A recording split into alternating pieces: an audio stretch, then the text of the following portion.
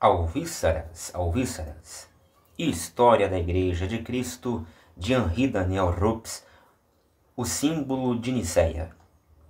O texto adotado pelo concílio para fixar o dogma católico perante Ário e os seus sequazes, os seus asseclas, os seus correligionários, os seus seguidores, os seus discípulos, permaneceu na igreja como elemento fundamental até os nossos dias.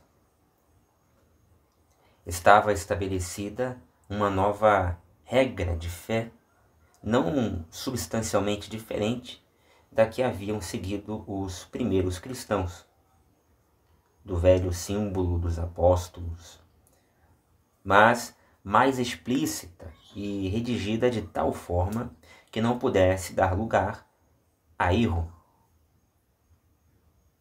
Então, você tem um primeiro símbolo. O que é símbolo, né? De repente eu estou falando aqui uma coisa, você está entendendo outra. Símbolo aqui, em teologia, não é um desenho. Tipo o símbolo, sei lá, do, do, do escudo do Flamengo, do Botafogo, né? o, o símbolo da. como se fosse um, um, do meu canal, por exemplo, né? que é uma árvore verde amarela, o símbolo é, é, de um produto, né? de uma marca, de biscoitos ou refrigerante ou qualquer outra coisa. Não, isso nem mesmo o símbolo cristão, que é a cruz ou um peixe. Símbolo aqui não é isso. Símbolo é uma espécie de síntese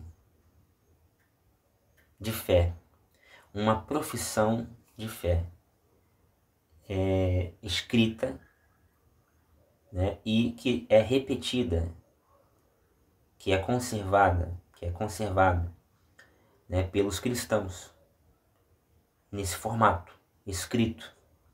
E o primeiro símbolo foi o símbolo dos apóstolos. Já vimos isso, né? Já vimos isso aí há vários vídeos atrás. Agora, esse símbolo dos apóstolos dá lugar ao símbolo de Niceia, o segundo símbolo. Depois, já antecipo, haverá o símbolo niceno constantinopolitano. Por quê? Porque vai pegar o símbolo de Nicéia, que a gente está vendo agora, né? isso lá em 481, mais à frente. Vai pegar esse símbolo de Nicéia e vai reformar com os, enfim, documentos do, do, do Concílio de Constantinopla. O nosso texto moderno não difere em substância do texto primitivo, tal como Eusébio, Santo Atanásio, Teodoreto, Sócrates e Gelásio o reproduziram em grego nos séculos 4 e 5, e como Santo Hilário de Poitiers o traduziu para o latim. Em 451, o Concílio de Calcedônia quis estabelecer a redação oficial, mas, possivelmente por erro do copista, omitiram-se algumas palavras que a igreja restabeleceu segundo a forma mais antiga. Tal como se apresentava à saída da Assembleia de Nicéia, o símbolo dizia assim. Aí eu vou ler agora para vocês como que foi a primeira revisão, a primeira redação de primeira mão, digamos assim, do símbolo de Nicéia, recém-saído né, do concílio de Nicéia. Tá? E aí, eh, no texto que você vê na tela, as palavras que não são idênticas ao texto atual são colocadas grifadas e entre colchetes estão aquelas que foram acrescentadas posteriormente. Tá? Então você que está vendo aí o texto, você vai ver aquilo que está entre colchetes são acréscimos. Então abro aspas para o símbolo de Nicéia. Nós cremos em um só Deus, Pai Todo-Poderoso, Criador do céu e da terra, de todas as coisas visíveis e invisíveis, e em um só Senhor Jesus Cristo, Filho unigênito de Deus, gerado monógeno do Pai, isto é, da essência do Pai, Deus de Deus, luz de luz, Deus verdadeiro de Deus verdadeiro, gerado, não criado, consubstancial ao Pai, por quem todas as coisas foram feitas, tanto o que existe no céu como na terra, que por nós homens e por nossa salvação desceu dos céus, encarnou pelo Espírito Santo no seio da Virgem Maria e se fez homem. Também por nós foi crucificado, padeceu sob Pôncio Pilatos e foi sepultado. Ressuscitou ao terceiro dia, conforme as Escrituras, subiu aos céus, onde está sentado à direita do Pai, e donde há de vir na sua glória para julgar os vivos e os mortos. E o seu reino não terá fim, e cremos no Espírito Santo. Esse é, é o final do símbolo de Nicéia. Né? O primeiro símbolo de Nicéia limitava-se quanto ao Espírito Santo a esta última frase, né? a esta simples afirmação de fé, e cremos no Espírito Santo. Mas no fim do século IV, como diversas correntes heréticas tivessem atacado a divindade da terceira pessoa da Trindade, a Igreja viu-se na necessidade de proclamá-la mais explicitamente e foi redigido o versículo que lhe diz respeito no nosso texto atual. Completou-se também o texto com afirmações de fé que se referem à igreja, ao batismo, à absolvição dos pecados, à ressurreição dos mortos e à vida eterna, que são afirmações com as quais se encerra o nosso credo. Credo, você sabe, né? Credo é o atual credo. Credo, né? Que a gente fala assim, quando é credo, ponto, não tem outro adjetivo do lado, tipo credo niceno, credo niceno constantinopolitano, credo apostólico. Quando não vem nenhum apodo né, lateral, é o credo de hoje, que você tem lá no missal. Uma tradição não, se todo, não de todo unânime pretende que estas precisões foram obra do concílio de Constantinopla em 381. Eu falei 400 naquela hora, né? 481, mas na verdade é 381. Em qualquer caso, é certo que foi neste último concílio, ou seja, o de Constantinopla, que elas foram elaboradas, se não formuladas. E é por isso que se designa vulgarmente o nosso texto atual com o nome de símbolo niceno-constantinopolitano. Então, tá aí a explicação. Porque apesar de tudo ser é, idealizado e estruturado, editado em Niceia, né? Em Niceia, no símbolo, no símbolo, perdão, no concílio de Constantinopla, é que, digamos assim, a criança nasceu, né? veio à luz, de fato.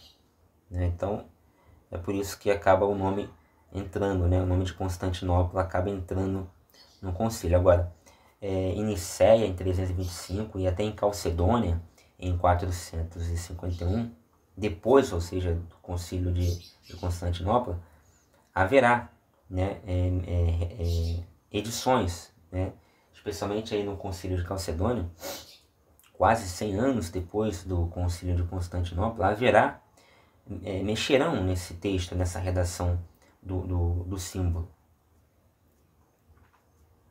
Comparado com o velho símbolo dos apóstolos, este texto tem qualquer coisa de menos unido, de menos simples e, sob certos aspectos, de menos comovente. É o texto de uma igreja mais amadurecida que já sentiu o dogma ameaçado e que toma as suas precauções. O lugar considerável dado a Cristo nestas definições, em que cada palavra tem o seu peso prova suficientemente que era ali que estava situado o essencial do drama. O símbolo de Niceia não trouxe qualquer inovação. Tudo o que proclamou em fórmulas teológicas encontrava-se já implícito ou explícito no Evangelho. Somente precisou e fixou definições que já não se poderiam questionar. Quando chegou o momento de promulgar o texto, que todos os prelados do concílio tiveram de aceitar publicamente, julgou-se conveniente tomar uma precaução suplementar e foi-lhe acrescentada uma fórmula de anátema. Abro aspas. Quanto àqueles que dizem, houve um tempo em que ele não existia, e ainda antes de ser gerado não existia, ou ainda ele foi feito do que não existia, ou de uma outra hipóstase ou usia, ou, ou enfim, o Filho de Deus é criado alterável, mutável, a Igreja Católica os anatematiza. Vinha escrito isso. Né? Hoje não tem, você não vê mais isso no credo, mas vinha escrito isso.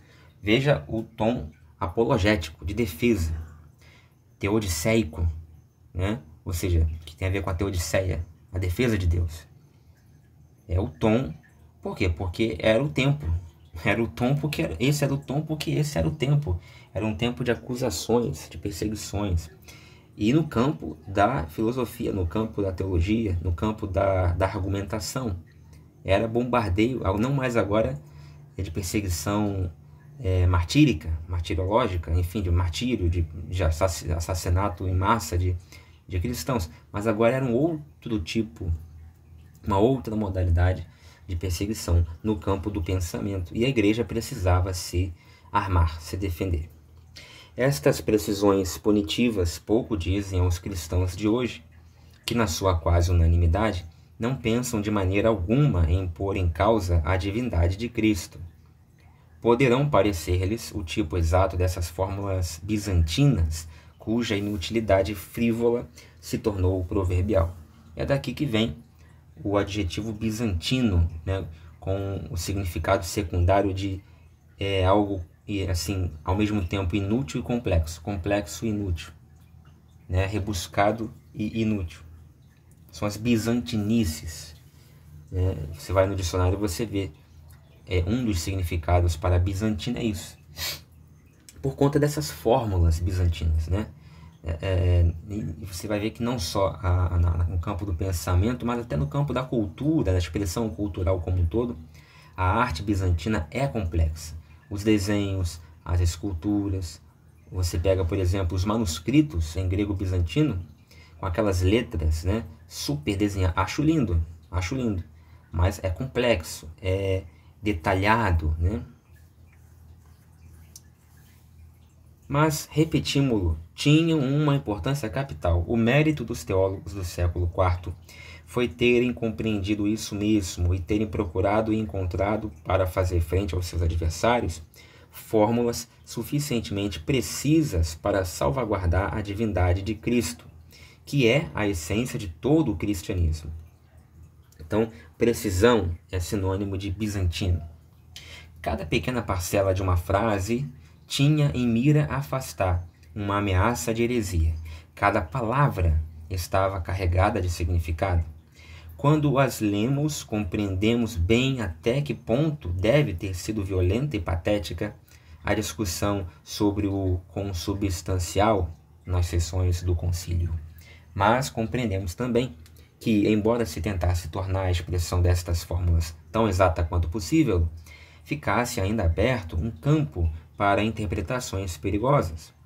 E as dificuldades aumentavam em vista da obrigação que havia de traduzir para o latim os termos gregos, dada a falta de precisão que acompanha qualquer tradução. Por exemplo, em latim, essência e substância são pouco mais ou menos palavras sinônimas. Em grego, hipóstase e ousia não são tanto.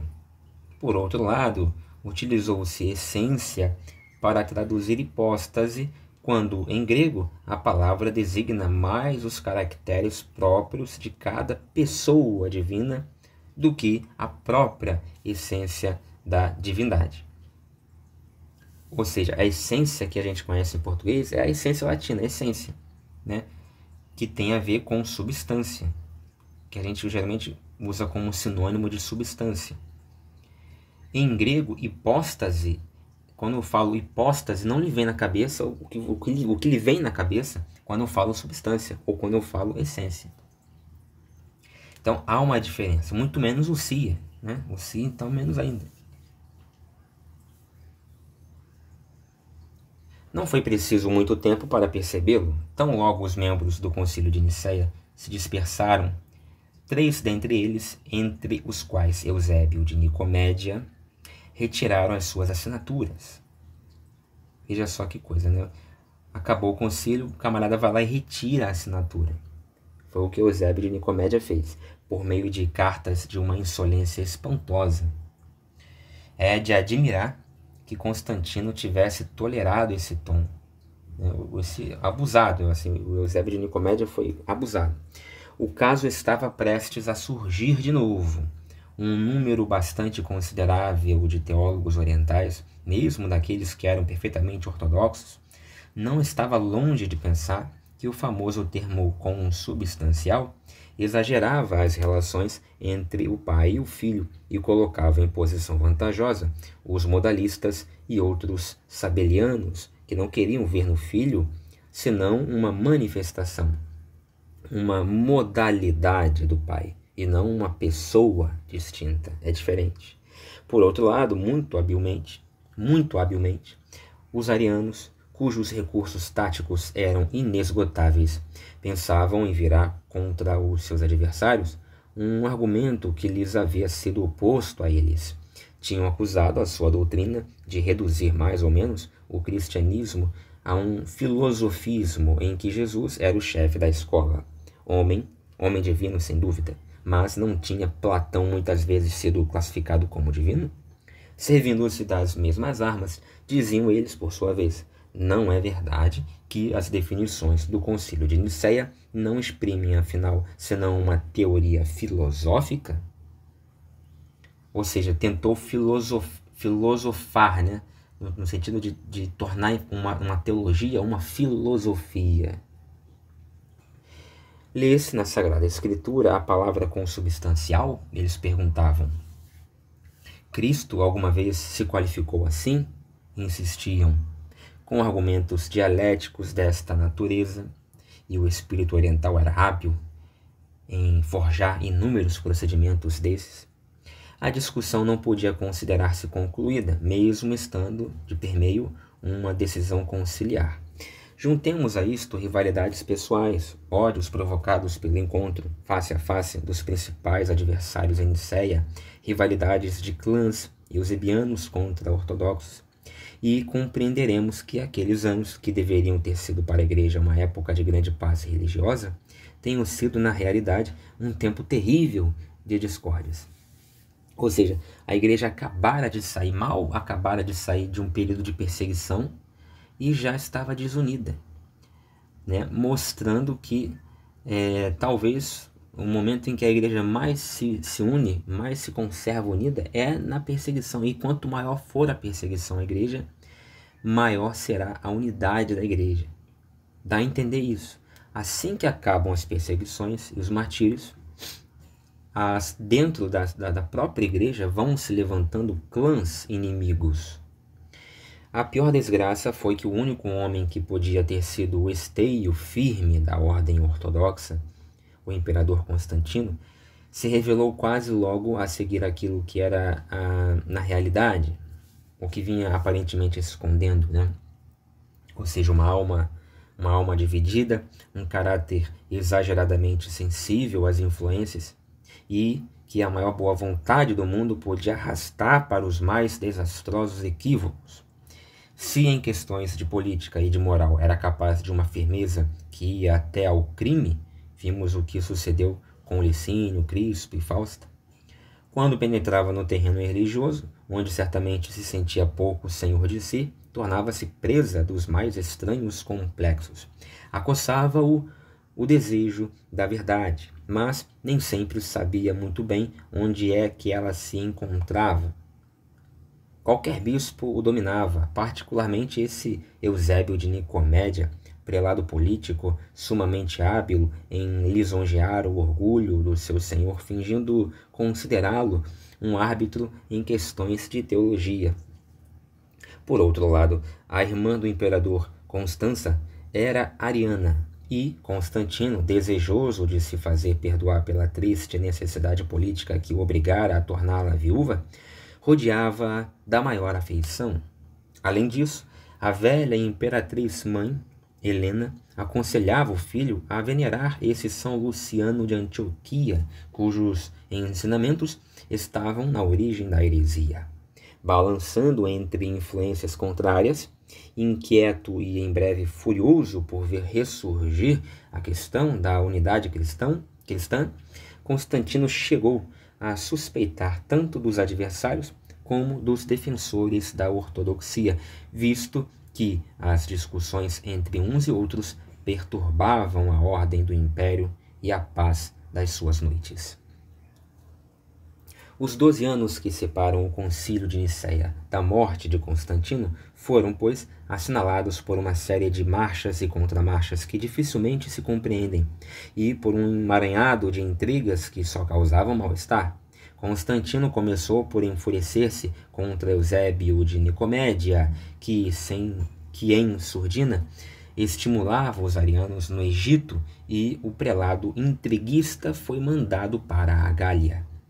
Mas regressa pouco tempo depois e, já mais prudente, evita atacar de frente os que eram fiéis ao imperador e inicia um ataque pelos flancos. Os principais bispos defensores da ortodoxia são, um após outro, insultados, caluniados e desacreditados. Eustáquio de Antioquia, sorrateiramente minado por Eusébio de Cesareia, é deposto sob pretexto de sabelianismo. Marcelo de Ancira, acusado de ter dito claramente num livro o que todos deviam pensar a respeito dos dois Eusébios, é igualmente varrido. O grupo herético ataca em seguida o mais eminente dos defensores da verdadeira fé, Atanásio, que, ainda jovem, acaba de substituir o bispo Alexandre de Alexandria, que falecera na sede episcopal de Alexandria, depois de peripécias inauditas, de uma campanha de opiniões completamente louca e de um concílio regional realizado em Tiro, no qual, segundo uma testemunha, os hereges se portaram como feras. Constantino, cedendo a diversas influências, exila Atanásio para Tréveres. Os arianos triunfam? Assim parece. O concílio transferido para Jerusalém anistia Ário. O heresiarca volta para Alexandria, mas o seu regresso provoca distúrbios. Sabendo disso, o Augusto gendarme irrita-se, vocifera contra o bando ariano, ordena que sejam todos punidos e que se queimem os seus escritos.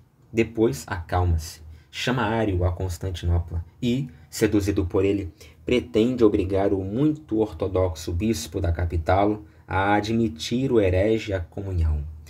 Ário, que não abjurou nenhum dos seus erros, mais do que nunca homem de ferro, estava nas vésperas do seu triunfo definitivo quando morreu. E a sua morte pareceu a todos os espíritos o golpe de misericórdia vibrado por um anjo. Encontraram-no num lugar solitário, banhado no seu próprio sangue, com as vísceras fora do ventre devido à ruptura de uma hérnia. Estavam as coisas neste pé o Egito agitado, reclamando Atanásio, os prefeitos do imperador ferindo todos os grupos indistintamente, e as almas sinceras perguntando onde é que estava o verdadeiro caminho quando Constantino entregou ao Criador a sua alma genial e pueril. Morreu santamente, como vimos, mas rodeado de uma cambada arianófila e batizado pelo suspeito e malandro Eusébio de Nicomédia. Há qualquer coisa de trágico no destino deste cristão que, incontestavelmente, não teve em mira senão a glória de Deus e a paz da Igreja, e que, por orgulho, por incompetência e por fraqueza, acabou por comprometer os resultados do grande ato de 325 e entregou o cristianismo às discórdias das facções. Não foi preciso esperar muito tempo para que se manifestasse o perigo dos amigos excessivamente poderosos.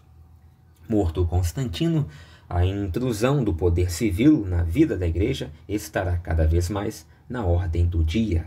É difícil descrever até que ponto essa intromissão seria desastrosa. Este é o único fato fundamental que se depreende das lutas prodigiosamente confusas que irão continuar quase até o fim do século. Durante 50 anos, o grande assalto da inteligência lançará vaga sobre vaga contra a fortaleza da ortodoxia, caracterizando maravilhosamente bem a marcha incoerente e muitas vezes absurda destas lutas.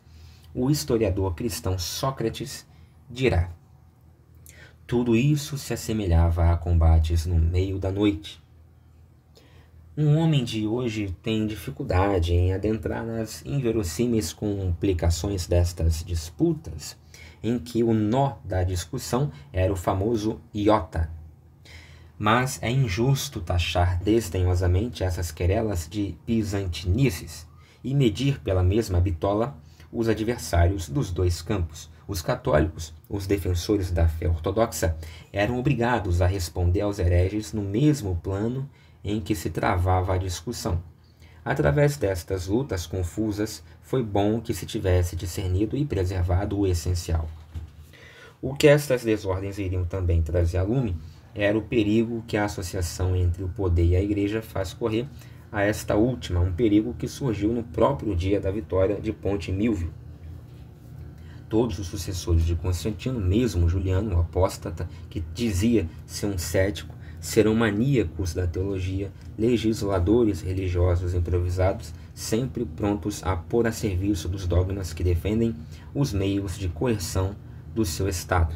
Um deles, Constâncio, exclamará um dia: Em matéria de fé, a lei sou eu. Uma fórmula que viria a fazer carreira. Fora Luís XIV, que também diria que o Estado era ele, é fácil imaginar até onde pode haver o autoritarismo quando se mistura com o fanatismo religioso. Basta que esteja no poder um ariano resoluto, como por exemplo o Valente, valente para que a perseguição recomece e se assista à opressão de cristãos por outros cristãos, de ortodoxos por hereges, e se desencadeia a Primeira Guerra Religiosa. Menos de um século depois dos últimos mártires, a Igreja de Cristo ver-se-á nessa situação.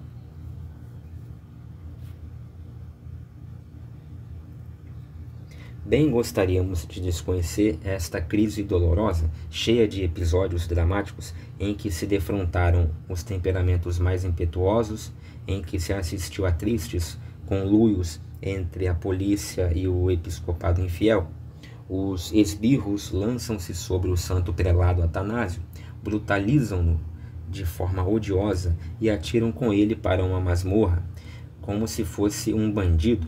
Um dos imperadores, perante a resistência do Papa, que não está inclinado a aceitar uma proposta de tendência ariana, grita-lhe: Assina, assina imediatamente, ou vais já para o exílio a crápula misturar-se-á, a crápula misturar-se-á assustadoramente com a heresia, e certas igrejas do Egito, anexadas por arianos anormais, serão teatro de cenas tão escandalosas que ficaríamos coroados, aliás, que ficaríamos corados se as referíssemos.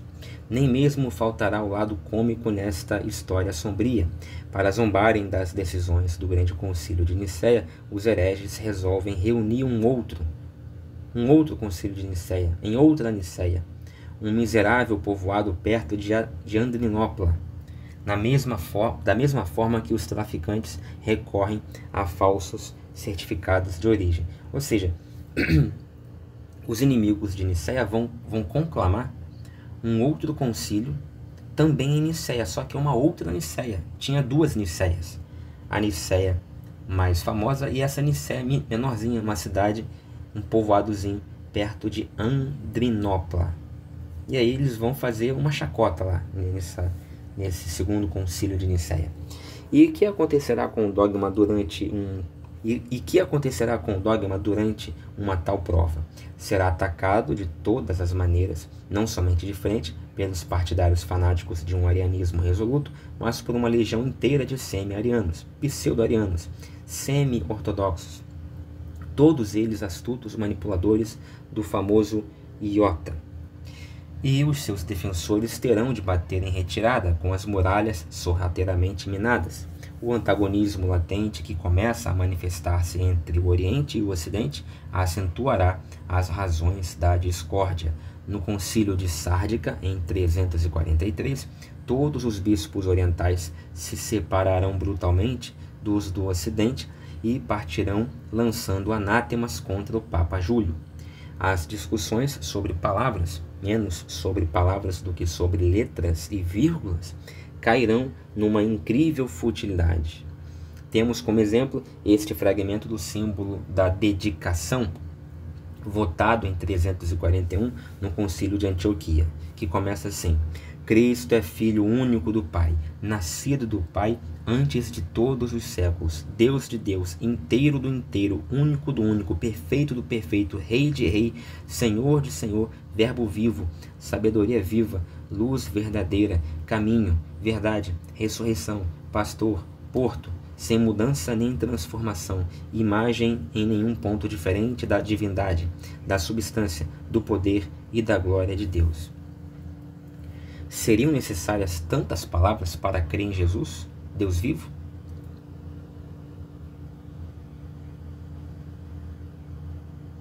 Os ortodoxos afirmarão: Cristo não é uma criatura. E logo os não ortodoxos acrescentarão algumas palavras venenosas: uma criatura como as outras.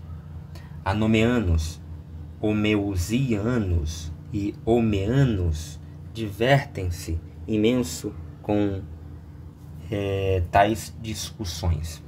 Então você começa a ter lá o, o partido dos anomeanos, o partido dos homeusianos, o partido dos homeanos. Só por milagre a, a, a fé, só por milagre a fé não se afunda definitivamente no meio destes raciocínios em que a letra predomina sobre o espírito e em que voltarão a aparecer os piores defeitos que se censuram aos fariseus e aos doutores judaicos da lei. E será mais admirável ainda que o dogma, possu, é, que o dogma possa triunfar das armadilhas estendidas pelo imperador Constâncio, que terão como resultado a rejeição da palavra consubstancial no concílio de Rímini, em, 300, em 359. Chegará um momento em que, repelidos os grandes defensores da fé e ocupadas as sedes episcopais por suspeitos e traidores, e parecendo que o próprio Papa Libério vai ceder à corrente do erro, se poderá pensar que a heresia consagrará o seu triunfo. Correrá o boato de que o velho Ósio de Córdova, o heróico protagonista do dogma de Nicéia, tinha cedido à heresia mas o documento em que se faz essa afirmação parece ser falso e forjado pelos arianos. Mas isso não acontecerá. O arianismo é, é, desconjuntar-se-á no momento em que estiver prestes a vencer. Mais uma vez a igreja triunfará, a ortodoxia triunfará. A partir de 361, data em que morre Constâncio, produzir-se-á a reação e essa reação avançará velozmente para o Ocidente, onde a nomeação de Santo Ambrósio como bispo de Milão poderá, ou melhor, porá termo ao terror ariano. No Oriente, as coisas não irão tão depressa, visto que o imperador valente, herege, protegerá os rebeldes. Quando o Papa Damaso fizer declarações doutrinárias em 377, encerrando definitivamente a questão ariana, o Oriente submeter-se-á no seu conjunto. Pouco depois, um novo soldado, Teodósio, em 379, retomando com mais firmeza a obra de Constantino, imporá definitivamente a doutrina de Nicéia no Concílio de Constantinopla em 381.